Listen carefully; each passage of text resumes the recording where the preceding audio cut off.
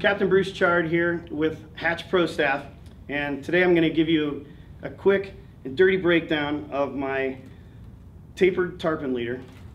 Now the key thing I want to make sure everybody understands is that we're going to break down the leader with six different segments and equal diameter breakdowns all the way through the leader. We want to act this leader as a continuation of the front tape of our fly line that we pay a lot of money for. We want to make sure we have that smooth transition of power all the way to the fly to increase the odds of our line leader and fly laying out straight, which is vitally important when we make our presentation to the fish.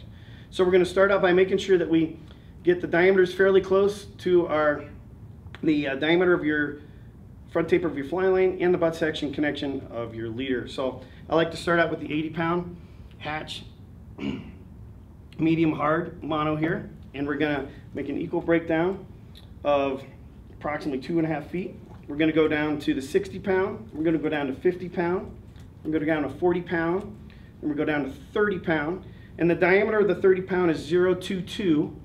And then we're going to go just a small skip up to 024 to the 50 pound fluoro. We're going to put on a nice little shock here so we can have a couple chances here, maybe two and a half feet to recut and retie the fly if we need to. Uh, you can totally put on a maybe a 40 pound piece of fluoro or a 60 pound piece of fluoro depending on the situation, the weather and how the fish are acting. Super easy to change that, no problem. I make all the connections with blood knots. And then the end connection to the butt section and the fly line, I like to use the simple perfections loop. So these are knots that are really simple to use.